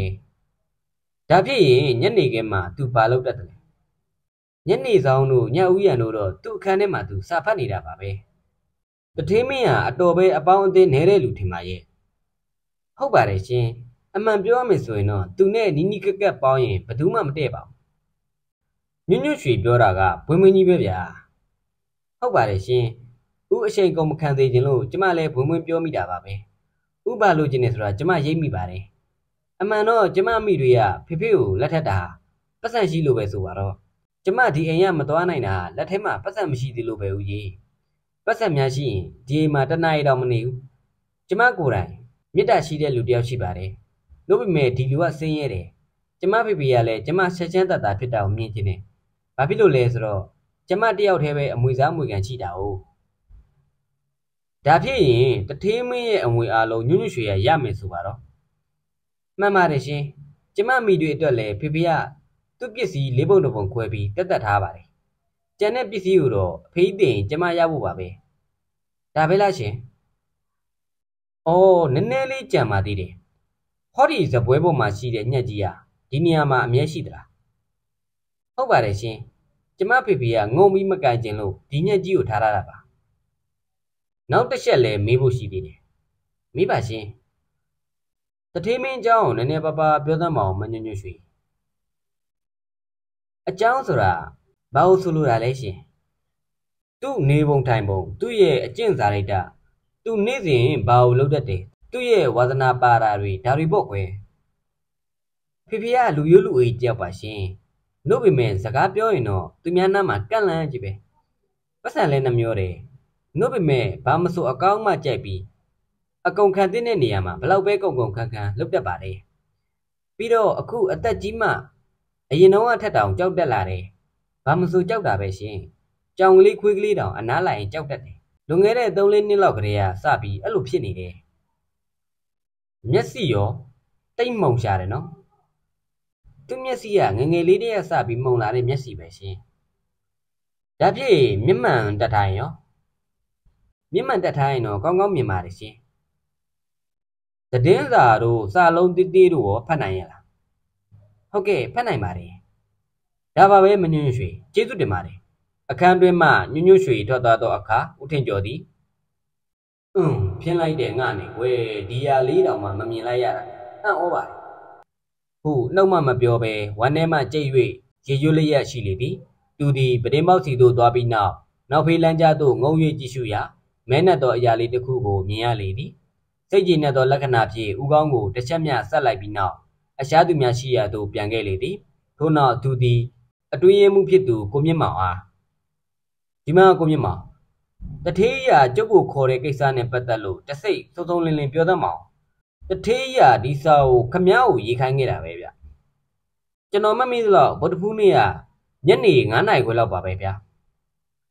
ဒီစာကိုစာရိုက်ထဲပုံများရောအထူးပြောသေးသလားကျွန်တော်ကိုယ်တိုင်စာရိုက်မှာထဲပုံပြောပါတယ်ဗျာဒီတော့ခမည်းထဲလိုက်တယ်ဆိုပါတော့မှန်ပါတယ်ခမည်း ကျုပ်လာတဲ့အခါအိမ်ထဲကိုဝင်ဝင်ပြုဖို့အောက်ထပ်ကအစီကံဖိုးယူများဗာများထွထူးထွေထွေသူကအမိန်ပေးထားသေးတယ်ည၈နာရီခွဲမှလူတယောက်လာသေးမယ်ဒီအခါအဲ့ဒီလူရဲ့နာမည်ကိုမေးပြီးသူ့မှာပါလာတဲ့စာကိုတောင်းထားဖို့ပြောထားနေမှလို့ကျွန်တော်တထေးမင်းကအမိတ်ရှိပါတယ်ခင်ဗျာอืมလောက်ပုံကတော့တော်တော်စမ်းတာပဲဗျဘယ်နဲ့လဲခမောစမ်းနေမထင်ဘူးလားအတွင်ရင်မူဦးမြင့်မောင်ဒီအတန်ငယ်လှုပ်ရှားသွားပြီးနောက် တတိထား၍ပြောသည့်ဟန်ဖြင့်တထေးမင်းကိုယ်တိုင်လူထူးလူဆန်းကြီးတယောက်ပဲဗျတပြင်းရောဗာများညွှန်ကြားချက်ပေးသေးလဲပေးပါတယ်ဗျအဲ့ဒီနေ့ညကျွန်တော်အပြင်ကိုသွားကျင်တဲ့အကြောင်းပြောပါတယ်ဒီတော့ခမ ्या ရောသွားသေးလားဟုတ်ကဲ့သွားပါတယ်ညစာစားပြီးတော့ကျွန်တော်လည်းရုပ်ရှင်သွားကြည့်ပါတယ်ဒီတော့ဘယ်ချိန်လောက်ပြန်လာလဲ7နာရီမထိုးခင်15မိနစ်လောက်မှကျွန်တော်ပြန်ရောက်ခဲ့ပါတယ် အဲ့ဒီနေ့ညတထင်းမင်းကိုခမ ्या တွေ့သေးလားမတွေ့ပါဘူးဗျာသူကရောနောက်တနေ့မနက်ဒီအကြောင်းကိုမပြောဘူးလားမပြောပါဘူးဗျာဦးထင်ကျော်သည်ခိတ္တမြရက်ဆိုင်လိုက်ပြီးနောက်ဆက်လက်၍ဒါနဲ့ကြောက်ရောက်လာတော့တထေးမင်းခန်းထဲကိုတိုက်ရိုက်ခေါ်မသွားပဲဦးမြင့်မောင်ရဲ့ခန်းကိုခေါ်သွားတယ်နော်ဟုတ်တယ်မလားဒါတော့ဒီလိုပါဗျာဦးထင်ကျော်ရောက်လာတော့သူ့ခန်းထဲခေါ်မသွားပဲနဲ့ ကျွန်တော်ခန်းကိုလိုက်ပြဖို့အောက်ထက်ကအစီကံအမိတ်ပေးထားဖို့အကြောင်းကျွန်တော်ပြောထားပါတယ်ဒါဘာဖြစ်လို့လဲဗျခမရတိလားကိုမြင့်မောင်ကဦးကောင်းကိုရန်လျက်ဒါကတော့တတိမင်းပြောတဲ့အမင်းကိုကျွန်တော်ဘယ်တော့မှစောရကမတက်ပါဘူးဗျာသူ့ကိုပြန်ပြီးမေးလာမြင်လာလို့ရင် तू ကမကြိုက်ဘူးဗျသူ့ခန်းထဲမှာဧည့်သည်တွေကိုလက်ခံနေကြမဟုတ်လားဗျအများအဖြစ်တော့ဟုတ်ပါတယ်ဗျာနှုတ်ပေမဲ့အမြဲမဟုတ်ပါဘူး အချို့မိတ်ဆွေတွေကိုကျွန်တော်ခန်းထဲမှာလက်ခံစကားပြောပါတယ်ဒီလိုလောက်တာအကြောင်းရှိလို့လားဗျကိုမြင့်မောင်ကအတန်ငယ်စဉ်းစားပြီးနောက်မရှိပါဘူးဗျာကျွန်တော်လည်းဒီအကြောင်းကိုစဉ်းလဲမစဉ်းစားမိပါဘူးဦးထင်ကျော်သည်တထေးကတော်တော်မြမေဤခွင့်ပြုချက်အရာအောက်ထပ်မှအစီကံအဖိုးကြီးအားခေါ်လိုက်ရာချက်ရှင်းလိုပင်ရောက်ရှိလာ၏ရောက်လာသောအခါဦးထင်ကျော်ကတစုံတရာမေးမြန်းလိုသဖြင့်ခေါ်ခြင်းဖြစ်ကြောင်း တထေးကတော်တော်မြမေကအဖိုးကြီးအားပြောပြလေသည်လွန်ခဲ့တဲ့ကြာသာပရိနိညကျုပ်ရောက်လာတဲ့အခါမှာဘာလို့ရမယ်လို့တထေးမင်းကခမရကိုအမိန့်ပေးထားသလဲအစီကံအဖိုးကြီးတီအတန်ငယ်ရွှဲရှင်းလိုက်ပြီးနောက်ညစာစားပြီးတဲ့အချိန်မှာတထင်းမင်းစီကိုဥတင်ကျော်ဆိုတဲ့လူတယောက်ရောက်လာမယ့်အကြောင်း၈နာရီခွဲလောက်မှရောက်လာဖို့ရှိတဲ့အကြောင်းဦးမြင့်မောင်ကကျွန်တော်ကိုပြောပါတယ်ဒီခါကျွန်တော်ကရောက်လာမယ့်ဧည့်သည်နာမည်ကိုမေးမြန်းရမယ် ပြီးတော့သူ့လက်ထဲမှာစားတဆောင်ပါလာတယ်မပါလာဘူးဆိုတာကြည့်ရမယ်ဒီနောက်ဦးမြင့်မောင်ရဲ့ခန်းထဲကိုပို့ရမယ်လို့ဦးမြင့်မောင်ကအမိန့်ပေးထားပါတယ်ခင်ဗျာအခန်းရှိရောက်တော့အခန်းတကားကိုခောက်ဖို့ပြောထားသေးလားအစီကံကြီးတီအတန်ငယ်သဘောမကျတဲ့ကဲ့သို့မျက်နာတစ်မျိုးပြောင်းသွားပြီးနောက်ဒါကတထေးမင်းရဲ့အမိန့်ပါပဲဗျာဧည့်သည်တွေအလုတ်အကင်နဲ့ပတ်သက်တဲ့ဧည့်သည်တွေရောက်လာတဲ့အခါမှာတကားကိုခောက်ဖို့ပါပဲဗျာအာဒီကကျုပ်နားမလဲပါဘူး ကျုပ်နဲ့ပတ်သက်လို့ခမ ्या ကိုဘာအထူးညွှန်ကြားချက်ပေးထားသလဲလို့ကျုပ်မေးတာဗျမပေးပါဘူးစုံတော့ကြီးကိုအခုကျွန်တော်ပြောတဲ့အတိုင်းဦးမြင့်မောင်ကကျွန်တော်ကိုလည်းပြောပြီးရောသူလည်းအပြင်ထွက်သွားတာပါပဲအဲ့ဒီတော့ဘယ်အချိန်ရှိပြီလဲ၈နာရီထိုးဖို့10မိနစ်လိုသေးတယ်ဗျဒီနောက်တထေးမင်းကိုခမညာတွေ့ရသေးလားတွေ့ရပါတယ်ဗျည၈နာရီလောက်မှကျွန်တော်လုံနေကြအတိုင်းရင်နွေးတစ်ခွက်သူ့စီကိုသွားပို့ရပါတယ် အဲ့ဒီတော့ तू ကအခန်းထဲမှာပဲလားဒါမှမဟုတ်လို့ဦးမြင့်မောင်ရဲ့ခန်းမှာလားသူ့ခန်းထဲမှာဗျအဲ့ဒီတော့ခန်းထဲမှာဘာထူးထူးခြားခြားမှတ်မိလဲထူးထူးခြားခြားဟုတ်လားမရှိပါဘူးအဲ့ဒီအချိန်မှာတတိကတော်နဲ့သူ့သမီးညွညွရွှေရအောင်ဗမာလဲသူတို့ရုပ်ရှင်တော့ကြည့်ကြပါတယ်ဗျာကောင်းပါပြီဗျာကျေးဇူးတင်ပါတယ်ကဲတော်တော့ပါပြီအစီကံကြီးထွက်သွားသောအခါဥတင်ကျော်က တထေးကတော်ဒေါ်မြမေဘတ်သို့လှည့်၍အော်တထက်တထေးကတော်နောက်ထပ်မိကွန်းတစ်ခုတော့မေးခွင့်ပြုပါဗျာတတထေးမင်းကမျက်စိမကောင်းမဟုတ်လားဟုတ်ကဲ့မကောင်းပါဘူးရှင်မျက်မှန်မပိုင်သူဘာမှမမြင်ရပါဘူးတိတ်မုံတာပေါ့ဟုတ်ကဲ့မှုံပါတယ်မှန်ပါတယ်ရှင်မျက်မှန်မပိုင်သူဘာမှမမြင်ရပါဘူးဒါဖြစ်ရင်သူ့မှာမျက်မှန်အလက်တော်တော်များများရှိသလားဟုတ်ကဲ့ရှိပါတယ်ရှင်ကောင်းပါပြီဗျာဒါပါပဲ အမှုကတော့ပြီးလောက်ပါပြီဗျာအခန်းတစ်ခန်းလုံးမှာငြိမ်သက်လျက်ရှိဦးထင်ကျော်သည်စေးရငိုထုတ်ခါမင်းကြီးလျက်ရှိ၏စုံတော့အင်စပက်တာဦးစိန်မောင်မျက်နှာမှာမဝေခွဲနိုင်သောအမှုရာရှိနေသည်ဆရာဝန်ဦးဝေးကျော်မှာနှစ်ဖူးရည်များတွန့်လျက်ရှိလေသည်အတွင်ရည်မူဦးမြင့်မောင်မှမူလူသုံးယောက်အားမျက်နှာများကိုတလဲ့သည့်ကြည့်ရှုလျက်ရှိလေသည်တထေးကတော့ဒေါ်မြမီမှာအံ့အားတင်းလျက်ရှိနေပြီးတကယ်တော့ငေးမောလျက်ရှိလျာညွညွရွှေတယောက်၏မျက်နှာသာ စိတ်အားထက်သန်ခြင်းကိုဖော်ပြလျက်ရှိနေသည်ဤတို့ငြိမ်သက်လျက်ရှိစဉ်တထေးကတော့ဒေါ်မြမီကကျမနားမလည်နိုင်တာအိမ်မက်အကြောင်းပဲဥထင်ကျော်ရဲ့အိမ်မက်အကြောင်းဟုတ်ကဲ့အဲ့ဒီအိမ်မက်ကအမတန်အရေးကြီးပါတယ်ဗျာဒေါ်မြမေကတုံရည်သောအတန်ဖြင့်ကျမဒီလိုစုံနတ်တစီတို့အိမ်မက်တို့ဘယ်တော့မှအရင်တော့မယုံကြည်ပါဘူးရှင်နှုတ်မဲ့အခုတော့သူမတ်တဲ့အိမ်မက်က အိမ်မက်တစ်ခုတည်းကိုပဲညာတိုင်းဆက်ပြီးမတ်တယ်ဆိုတော့စကားမဆုံးမီစမ်းတော့တိတ်ဆန်းတာပဲဗျာဒီအကြောင်းတထင်းမင်းစီကကြုတ်တာမကြားလိုက်ရဘူးဆိုရင်တော့အော်တတက်ဒေါ်မြမေကိုမေးရအောင်မယ်တထင်းမင်းဟာဒီအိမ်မက်အကြောင်းမပြောမပြောပါဘူးရှင်ဟုတ်တာပေါ့တထင်းမင်းကိုယ်တိုင်အကျုပ်ကိုမပြောဘူးဆိုရင်တော့ဥထင်ကျော်သည်စေးတံကိုကြိုက်ကမျက်လုံးများကိုခမိန်မေးထားလျက်ရှိရမှာ ဒီမှုမှာအရေးကြီးတဲ့အချက်လေးရှိတယ်ဗျဥပမာကျွန်တော်ကိုပေးလိုက်တဲ့စာကိုကျွန်တော်လာတဲ့အခါယူလာရမယ်တဲ့ဗျာအတွင်မူဦးမြင့်မောင်ကဒါကတော့ဘသူဘဝဆိုတာတေချောင်လို့ထင်ပါရဲ့ဗျာမဟုတ်ဘူးကိုမြင့်မောင်မဟုတ်ဘူးဒါအမတန်ထူးဆန်းတယ်ဒီချက်ဟာကျုပ်တို့မျက်မြင်တွေးထင်ချက်တဲ့အတိတ်ပဲပိုပြီးနေနေတယ်ဥရွှေဘော်ကကျွန်တော်ကိုသူပေးလိုက်တဲ့စာပါခဲ့စေခြင်းရုံမကဘူး ဒီစာလေးကိုလည်းသူ့စီမှာထားခဲ့ရတယ်ဗျပြီးတော့ဒီစာကိုလည်းသူဖြည့်ဆည်းမပစ်ဘူးဒီစပွဲပေါ်မှာအခြားစက်ကူတွေနဲ့အတူတွေ့ရတယ်သူဘာဖြစ်လို့ဒီစာကိုတင်ထားရတယ်လဲဗျထိုအခါညွညွရွှေကဒါတော့သူတခုခုဖြစ်ရင်သူမှတ်တဲ့အိမ်မက်အကြောင်းအများသိစေချင်လို့တင်ထားတာဖြစ်မှာပေါ့ရှင်ဦးထင်ကျော်ကညွညွရွှေ၏စကားကိုထောက်ခံသည့်အနေဖြင့်ဦးကောင်းကိုအသာရညှိလေသည်မှန်တယ်မိန်းကလေးမိန်းကလေးပြောတာကြုတ်သဘောကျတယ် ဒီစာကိုတင်ထားတာဒါအတွက်ဖြစ်ရမယ်ဥရွှေဘော်တည်သွားပြီးတဲ့နောက်မှာသူထူးထူးဆန်းဆန်းမှတ်တဲ့အိမ်မက်အကြောင်းလူတွေကပြောကြံရခဲ့အောင်ဒါကြောင့်ဒီအမှုမှာအိမ်မက်ဟာအရေးကြီးဆုံးပဲဒီအမှုရဲ့အသက်ဟာဒီအိမ်မက်ပေါ်မှာမူတည်နေတယ်ဥထင်ကျော်ကဆက်လက်၍ကဲဒုတိယချက်ကိုကြုတ်ပြောမယ်သူပြောတဲ့အမှုအကြောင်းကျုပ်နားထောင်ပြီးတဲ့နောက်သူ့စပွဲနဲ့ရှောင်းလုံးပြူတနတ်ကိုပြဖို့ကျုပ်ကပြောတယ် ပထမတော့သူပြဖို့လုပ်ပြီးချက်ချင်းပဲစိတ်ပြောင်းပြီးမပြတော့တို့ချိန်တွင်ဥထင်ကျော်၏ထင်မြင်ချက်ကိုမြည်သူများဆွေးနွေးခြင်းမပြုမီဥထင်ကျော်ကဆက်လက်၍ကဲဒီတော့ကျွန်တော်တို့မေကုန်းထုတ်ပြီးအမျိုးမျိုးစဉ်းစားကြည့်မယ်ဟိုဘက်ခန်းထဲမှာရွှေဘော်ကကျွန်တော်မမြင်သေးချင်တာဘာရှိသလဲဧကနာကျွန်တော်ကိုမမြင်သေးချင်တာတခုခုရှိရမယ်သူဟာအကြောင်းတစ်ခုခုကြောင့်သူ့ရဲ့အတွင်ရင်မူဦးမြင့်မောင်ရဲ့အခန်းမှာကျွန်တော်ကိုဧကန်တယ် ပြီးတော့သူ့အခန်းကိုကျွန်တော်ကလိုက်ပြီးကြည့်ကျင်တယ်ဆိုတော့သူညင်းတယ်လိုက်မပြဘူးဒါကြောင့်သူ့အခန်းထဲမှာကျွန်တော်ကိုမမြင်သေးချင်တာတခုခုဧကန်နာရှိရမယ်လို့ကြုတ်တွက်တယ်ထို့နောက်ဦးထင်ကျော်ကဆက်လက်၍ကဲတတိယချက်ကိုကြုတ်ရှင်းပြမယ်အဲ့ဒီညကကျွန်တော်တထေးမင်းစီကိုလာတဲ့အခါမှာကျွန်တော်လက်ထဲမှာပါလာတဲ့စာကိုပေးဖို့သူကပြောတယ်ဒီတော့ကျွန်တော်ကလည်းသူ့စီကရလာတဲ့စာကိုမပေးပဲမိတ်ဆွေတယောက်ရဲ့စာကိုသာပေးလိုက်တယ် သူကစာကိုမကြည့်ပဲဇပွဲပေါ်မှာတင်ထားလိုက်တယ်ဒါနဲ့ကျွန်တော်အခန်းထဲကထွက်မသွားခင်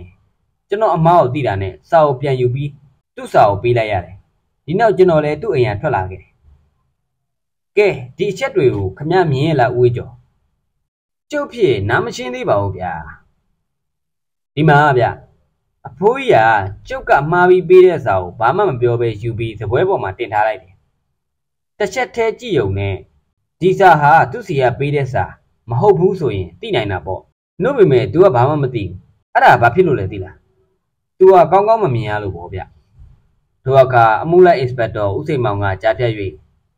အဲ့ဒီခါတော့ကမျက်မှန်တက်မထားလို့လားဦးထင်ကျော်ဦးထင်ကျော်ကပြုံးလေးရ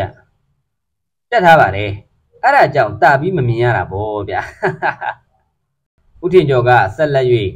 ပြီးတော့အိမ်မက်အကြောင်းဆရာတို့ကြီး သူကသူ့ကိုယ်သူတက်တည်တယ်လို့အိမ်မက်မှတ်တယ်ဆိုမဟုတ်လားဒီနောက်သူဘာမှမကြောက်သူ့ကိုယ်သူတက်တည်လိုက်တယ်တည်တဲ့အခါအခန်းထဲမှာတခြားလူမရှိဘူးသူတယောက်တည်းရဲ့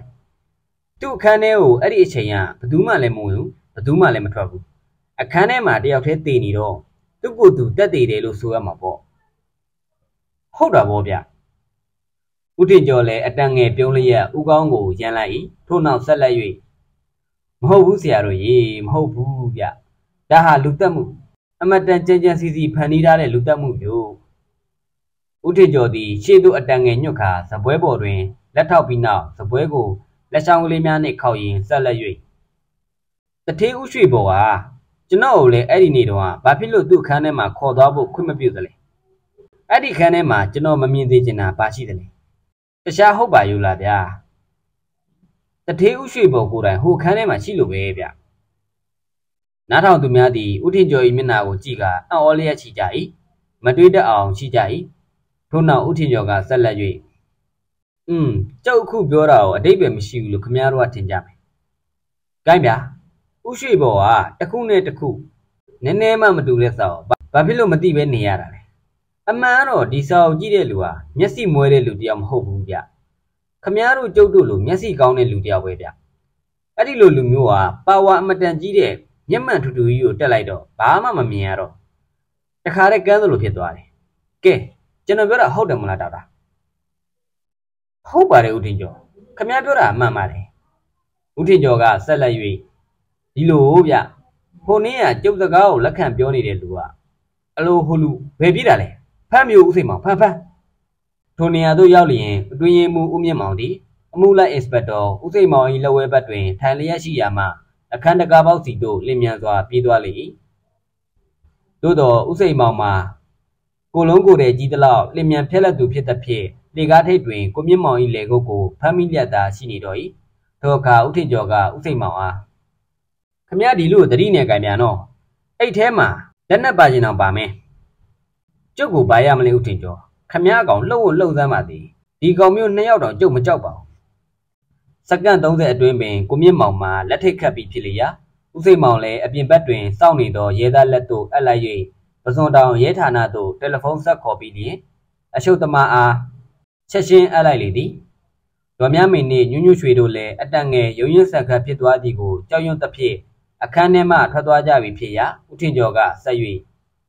ဒီလိုဗျကျုပ်ကိုလက်ခံစကားပြောနေခဲ့တဲ့လူဟာ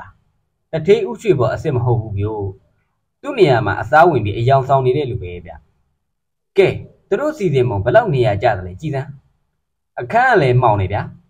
ဇပွဲတင်တက်မီးကိုအစိမ့်နှုမြောင်တက်ထားတယ်ဇလောင်းနောက်ထိုင်နေတဲ့လူကိုမမြင်ရအောင်ဇပွဲတင်တက်မီးကိုလည်းရှစ်တက်တက်လှည့်ပြီးထိုးထားတယ်ဗျကဲပြီးတော့ကြည့်လိုက်အောင်အင်ကြီးကလည်းဥချွေပေါ်ဝတ်တဲ့အင်ကြီးခတ်ဆုပ်ဆုပ်နှာခေါင်းကိုတော့ရာဘာနဲ့လှုပ်ထားတယ်ခတ်တောင့်တောင့်နှာခေါင်းပုံစံအပေါ်ကတက်ထားတယ်ဗျ ခေါင်းမှာတော့တကောင်းလုံးဖြူနေအောင်စပင်ပုံအဖြူတက်ထားမှာပေါ့ပြီးတော့မှနောက်ဆုံးအမတန်ပါဝါကြီးတဲ့မျက်မှန်ကြီးကိုတက်ထားရတာဟုတ်ဗျကဲဘယ်နဲ့လဲကျုပ်ပြောတာတော်တော်သဘောပေါက်ရလားဗျပြီးတော့ဥရွှေဘော်ဟာအိမ်မက်မက်တယ်ဆိုတာဘာတက်တီကအထောက်ထားရှိတယ်သူကကျုပ်ကိုနှုတ်နဲ့ပြောတာရယ်သူမိမကိုပြောတာရယ်ပဲရှိတယ်ပြီးတော့သူစာရေးတဲ့စပွဲထဲမှာရှောက်လုံးမြူတနတ်ကိုထည့်ထားတယ်ဆိုတာဘာတက်တီကရှိတယ် ဒီဟာလဲကျုပ်ကို तू ပြောပြတာရယ်။ तू မိမ့်မကပြောပြတဲ့ထွက်ချက်ရယ်ဒါပဲရှိတယ်။ဦးထင်ကျော်ကဆက်လက်၍ဒီအကြံကလူနှစ်ယောက်ပေါင်းကြံတဲ့ကြံဗျတထေးကြော်နဲ့မောင်မြင့်မောင်တို့ကြံတဲ့အကြံပေါ့မောင်မြင့်မောင်ကကျုပ်စီကိုစာရေးတယ်ပြီးတော့အစီကံအဖိုးကြီးကိုဘယ်လိုလုပ်ရမလဲဆိုတာညွှန်ကြားချက်ပေးပြီးသူကတော့ရုပ်ရှင်သွက်ကြီးဟန်ဆောင်တယ်ဒီနောက်မကြခင်မှာပဲသူပြန်လာပြီးသူ့အခန်းထဲကိုသူတိတ်တဆိတ်ပြန်ဝင်နေတယ် အဲ့ဒီလိုဝင်ပြီးတော့တထေးဥရွှေပေါ်ရောင်စောင့်နေတာဟုတ်ဗျအင်းအတော်အကြံပိုင်တဲ့လူတွေပဲပြောဦးထင်ကျော်ကဆက်လက်၍ကဲဒီတော့အခင်းဖြစ်ပွားတဲ့ညနေရောက်လာပါရောဆိုပါတော့ဗျာအပြင်ကနေပြီးဥရွှေဘော်စောင့်ပြီးနေတဲ့တည်င်းတော်နှစ်ယောက်ကဒီချိန်ဒီခါမှဥရွှေဘော်ရဲ့အခန်းထဲကိုဘယ်သူမှဝင်တာထွက်တာမမြင်ရဘူးလို့သက်သေခံနိုင်နေမဟုတ်လားဗျအမှန်လဲသူတို့မမြင်မှမမြင်ရပဲဘူးကဲဒီတော့မောင်မြင့်မောင်က လမ်းပေါ်မှာမော်တော်ကားတွေစူးစူးညံ့ညံ့အသွားအလာအမတန်များတဲ့အချိန်ကိုစောင့်တာပဲဗျဒီအချိန်ကဘယ်အချိန်လဲဆိုတော့အိမ်မက်ထဲမှာဆင်ထားတဲ့အတိုင်း၃နာရီခွဲလောက်ပေါ့ဗျာဒီအချိန်ကလမ်းရှိမှာကုန်တင်ကားကြီးတွေကိုပိုင်ကားတွေအမတန်ရှုပ်တဲ့အချိန်ဆိုတော့နောက်ဖေးခန်းပြစ်လိုက်တဲ့တနတ်တောင်ရုပ်တရက်မကြားနိုင်တဲ့အချိန်မျိုးပေါ့ဗျာဒီနောက်မော်မြင့်မောင်ကတထေးဥရွှေပေါ်အခန်းထဲကတိတ်တဆိတ်ခိုးယူလာတဲ့ညက်ကြီးနဲ့သူ့ပတင်းပေါက်စီကနေဥရွှေပေါ်ပတင်းပေါက်ကို အရာဝတ္ထုလေးတစ်ခုကိုညှက်ပြီးရုတ်တရက်ပြစ်လိုက်တာဟုတ်ဗျဒီတော့ဥရွှေပေါ်ကကြောက်ချလို့ရုံငနေသဘောရထပြီးပတင်းပေါက်စီလာတာပေါ့ဗျာပတင်းပေါက်ရောက်တော့အပြင်ဘက်စီကိုသူငုံပြီးကိုဒီဒီကြည့်တဲ့အခါမှာကိုမြင့်မောင်ကဟိုဘက်ပတင်းပေါက်ကနေပြီးနှထင်ုံတက်တက်မောင်တခါတည်းပစ်ချလိုက်တယ်အိမ်ရှိထွက်တဲ့တကားကလည်းပိတ်ထားပြန်လမ်းပေါ်ကလည်းမော်တော်ကားသွားတဲ့အတန်တွေကားဟွန်းတန်တွေကစူနေတော့တနတ်တောင်မကြားနိုင်ဘူးပေါ့ဗျာ ဒီတော့နောက်ဖေးဘက်ကလည်းတိုက်နေရင်ခံနေတော့ဘာသာမှမကြားရဘူးဘသူမှမကြားရဘူးဘသူမှလည်းဒီဘက်မမြင်နိုင်ဘူးอืมပြောရအောင်မေကိုမြင့်မောင်ကသူ့အခန်းဘက်ကနေပြီးဥရွှေဘော်ရဲ့အခန်းကိုညှက်ကြီးနဲ့ညှက်ပြီးပြစ်လိုက်တာဘာထင်လဲဘာများလဲဗျကျွန်တော်စစ်စစ်တော့ဘာမှမတွေ့ရပါဘူးထင်ကြောတက်ရောက်ကိုကြာသွားတာဟုတ်ဗျရုပ်တရက်ပဲတွေ့နိုင်ထိုအခါဥထင်ကျော်သည်ဥရွှေဘော်၏အစီကံ ကိုသူတော်ကိုခေါ်စီပြီးလျင်ဥရွှေဘော်၏အခန်းပတင်းပေါက်အောက်တက်တဲ့နောက်ဖေးလန်းကြားတွင်ပစ္စည်းတစ်ခုခုကျသွားသဖြင့်တွားရောက်ကောက်ယူခဲ့ရန်ပြောလိုက်ရာမကြမီကိုသူတော်လည်းကြောင်ရုပ်တစ်ခုကိုကောက်ယူ၍တိုက်ပေါ်သို့တက်လာလေသည်ကြောင်ရုပ်ကလေးမှာဂတိပါအနက်ဖြင့်လှပစွာပြုလုပ်ထားသည့်နိုင်ငံသားဖြစ်အယုတ်လေးဖြစ်၍မျက်လုံးကလေးမှာတောက်ပြောင်သောပတိစိတ်များတက်ထားလေသည်ဦးထင်ကျော်ကကြောင်ရုပ်ကလေးကိုကင်လျက်ဒီရုပ်လေးကိုညှက်နဲ့ညှက်ပြီး ဥရွှေဘော်ကြောက်တံမှန်တီးလို့သူ့ရဲ့ပတင်းပေါက်မှာပြတာပေါ့ဗျဒီတော့အဖိုးကြီးကလည်းပတင်းပေါက်ကိုထွက်ကြည့်တာဖြစ်မှာပေါ့ကြံကြံဖန်ဖန်လုံမှလုံတက်ပလေဗျာကျွန်တော်လည်းအိမ်ကြားထဲမှာရှာဖို့မျက်စိချမ်းသွားတယ်ဗျလို့ပေမဲ့ဒါဟာဥစိတ်မောင်အပြစ်မဟုတ်ပါဘူးဗျနို့နေပါဦးအဖိုးကြီးကိုတနတ်နဲ့ပြစ်ပြီးတဲ့နောက်ဒီကြောင်ရုပ်ကို तू ကဘာဖြစ်လို့ချက်ချင်းစင်းမကောက်တလဲဗျဒါတော့ချက်ချင်းစင်းကောက်လို့ လူသူလေးပါးမြင်သွားရင်သူ့အပေါ်တင်ကမကင်းဖြစ်မှာဆိုလို့ဖြစ်မှာပေါ့ဗျဒီအတိုင်းထားတော့တယောက်ယောက်ကတွေ့ရင်တော့ကလေးတယောက်ကစားပြီးပြစ်ထားတယ်လို့ထင်မယ်မဟုတ်လားဗျကဲဒီအထိကျုပ်ပြောတာရှင်းပြီမဟုတ်လားဒေါက်တာရှင်းပါပြီဗျဦးထင်ကျော်ကဆက်လက်၍ဒီတော့မှကိုရောမြက်ကမိနစ်20လောက်နိုင်ဝက်လောက်သူ့အခန်းထဲမှာသူစောင့်နေသေးတယ်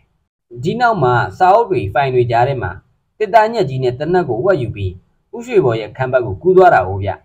ညက်ကိုတော့ဥရွှေဘော်တင်နေကြအတိုင်းစပွဲပေါ်မှာအသာတင်ထားပြီးချောင်းလုံးပြူတနက်ကိုတော့ဥရွှေဘော်အလောင်းရဲ့လက်ထဲမှာထည့်ထားခဲ့တာဟုတ်ဗျ